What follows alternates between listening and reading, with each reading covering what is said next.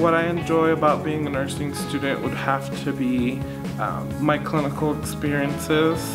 Um, I, I like going out and working with a variety of different patients and working in different patient populations, whether it be pediatrics or general adults.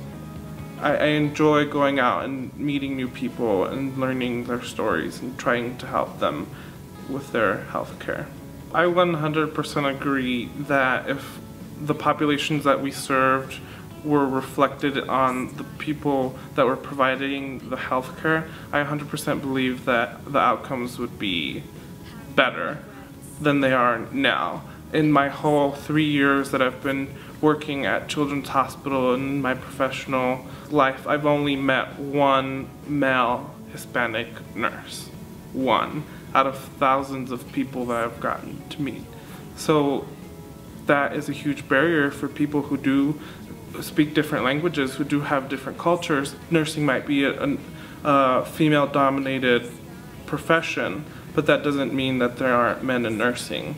And men can be very high achieving nurses in whatever fields that they choose. So follow your dreams and get a nursing degree.